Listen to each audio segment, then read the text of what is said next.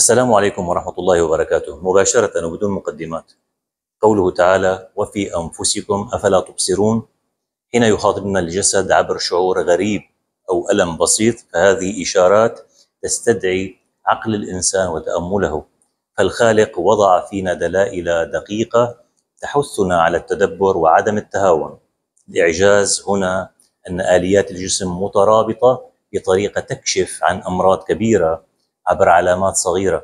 فإذا تأمل الإنسان في هذه الإشارات وعمل على تفسيرها فقد ينقذ حياته ويعجل بالعلاج المناسب. لا تهملوا أي إشارة جديدة ومفاجئة فالوعي المبكر هو الفاصل بين الشفاء والتأخير. أخطر عشر علامات تحذيرية وراءها أمراض ومخاطر كبيرة قاتلة قد تنقذ حياتك لو عرفتها. أولا ألم في البطن يمكن أن يكون مصدره القلب حيث يظهر ألم أعلى البطن أو شعور بالامتلاء قد يفهم كعسر هضم لكن في حالات عديدة يكون تعبيرا عن نقص تروية في عضلة القلب أو احتشاء صامت في عضلة القلب. القلب لا يعبر دائما بألم مركزي واضح في هذه المنطقة وخصوصا بعمر الخمسين وما فوق. وعند الأشخاص الذين لديهم سكري أو داء شرياني قد يكون الإحساس علامة في البطن ألم غثيان أو امتلاء بدلا من الإحساس بطعنة في الصدر. وما يميز هذا العرض القلبي هو ارتباطه بتعرق بارد مفاجئ وضيق نفس أو تعب غير مبرر بدون جهد أو ربما استمرار الأعراض رغم استخدام أدوية المعدة. عند ظهور ألم بطني مفاجئ مع أي مما سبق. يجب التفكير بالقلب واستشارة الطوارئ القلبية فورا وعدم التوجه بالتشخيص إلى افتراضات هضمية بحتة. ثانيا تنميل مفاجئ في اليد أو الوجه أو أحد الأطراف. يظهر خدر مفاجئ أو تنميل يطغى على اليد أو جانب الوجه قد يبدو كإجهاد لكنه غالبا إعلان مبكر عن نقص تروية دماغية أو ما يسمى بنوبة إقفارية عابرة. هذه الأعراض العصبية الجزئية قد تسبق سكتة كاملة أو تحذير يتيح الفرصة للتدخل المبكر. الفارق السريري المهم هو المفاجأة. هنا ظهور التنميل بسرعة وبدون سبب واضح وخصوصا إذا ترافق مع ضعف في قوة الطرف أو اضطراب في النطق أو الإبصار. عند هذه الإشارات يجب تفعيل المسار السريع للكشف العصبي والسرعة في النقل إلى المستشفى لأن الوقت هنا ثمين.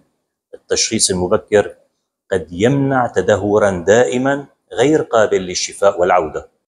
ثالثا ألم في الظهر أو بين الكتفين بشكل حاد ومفاجئ. ألم مفاجئ شديد يشتد بين الكتفين أو في الظهر العلوي يثير احتمال تسلخ جدار الشريان الأبهري. وهذه حالة طارئة تهدد الحياة. هذا الألم غالبا يوصف بأنه تمزقي أو كأن شيئا يقطع ويختلف عن ألم الظهر العضلي الذي يتطور تدريجيا. هنا البداية تقطع السكون فجأة ويصاحبها دوار أو انخفاض ضغط أو فقد وعي.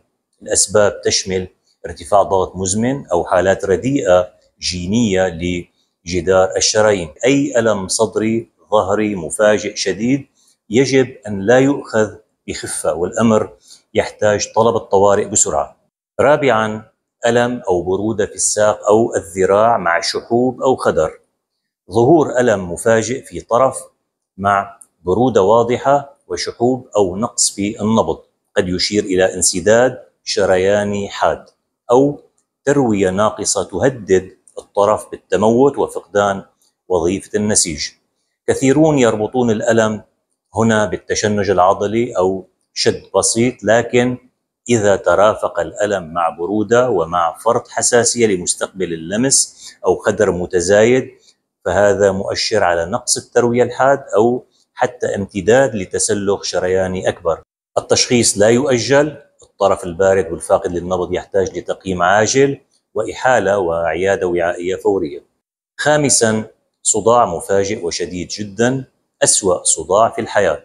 وصف المرضى هذا الصداع بأنه صداع الأسوأ في حياتهم كما يقولون أو صدمة مفاجئة يحمل دلالة قوية على احتمال حدوث نزف تحت العنكبوتية أو نزف داخل المخ وهو يختلف عن الصداع التوتري أو عن الصداع النصفي.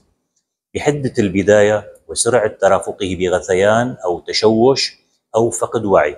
هذا النزف يحدث غالبا نتيجة تمزق له علاقة بتمدد وعائي أو فرط ضغط مفاجئ.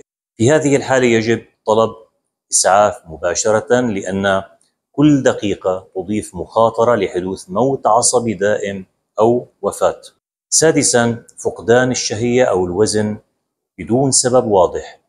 هبوط الشهية وفقدان وزن ملحوظ بدون تفسير غذائي أو نفسي قد يكون العلامة الأولى لأمراض جسدية خطيرة أورام وسرطانات هضمية أو سرطانات كبدية أمراض غدية أو اضطرابات التمثيل الغذائي المزمنة.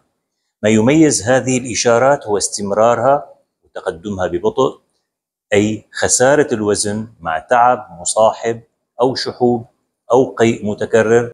الاعتبار السريري هنا هو أن المرض الخبيث أو المرض المزمن غالبا يبدأ بعرض هادئ قبل أن يظهر واضحا. لذلك لا ينتظر المريض فترة طويلة بل يبدأ الفحص المبكر عند استمرار فقدان الشهية أكثر من أسبوعين أو تزايد فقدان الوزن. سابعا ألم في الفك أو الرقبة عند الجهد.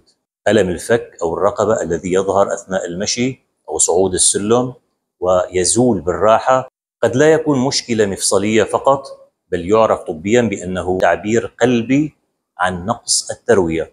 يظهر في أماكن غير الصدر. لذلك إن اشتكى المريض بأن فكه يتعب أو رقبته تؤلمه عند بذل مجهود بسيط يجب التفكير في اختبار جهد قلبي والاستشارة القلبية. تجاهل هذا العرض يؤدي أحيانا إلى خوف زائف من مسببات عضلية بينما السبب يكون قلبي. ثامنا تغير لون الجلد أو برودته دون سبب واضح. شحوب مستمر زرقة في الشفاه أو الأصابع أو برودة جلدية مفاجئة بدون سبب مناخي. قد ترمز إلى اختلالات وريدية أو شريانية أو فشل قلبي يحد من التروية.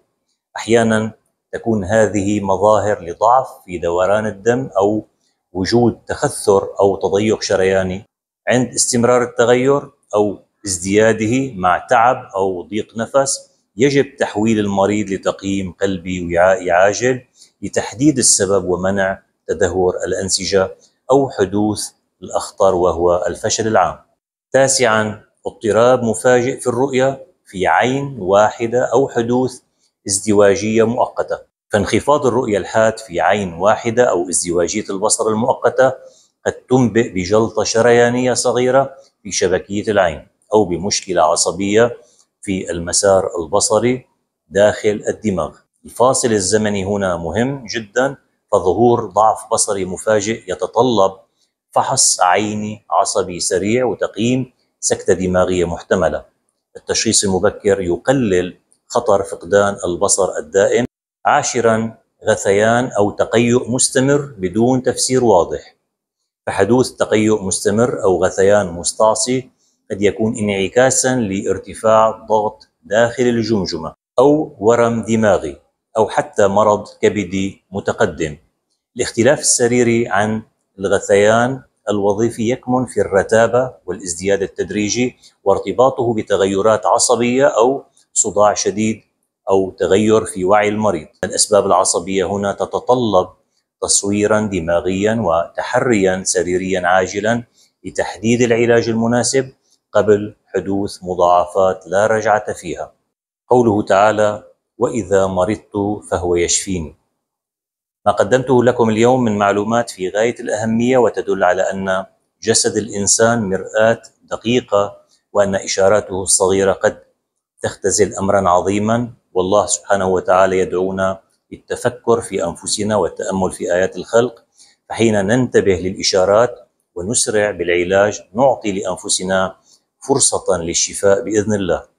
العمل والاجتهاد في طلب العلاج ثم التسليم لحكمة الخالق مزيج يليق بكل مؤمن. اطلب العلاج اعمل وتوكل. فالله سبحانه وتعالى هو الشافي ونحن مكلفون بالعمل والاجتهاد. أرجو أن أكون قد وفقت في تقديم الفائدة لكم جميعا وأرجو من كل من يحبني ويتابعني أن يدعو لروح أمي الحبيبة الغالية أم نوار بالرحمة والمغفرة. ولأبي الحبيب الغالي أبو نوار الدكتور محمود علي بالصحة والعمر المديد.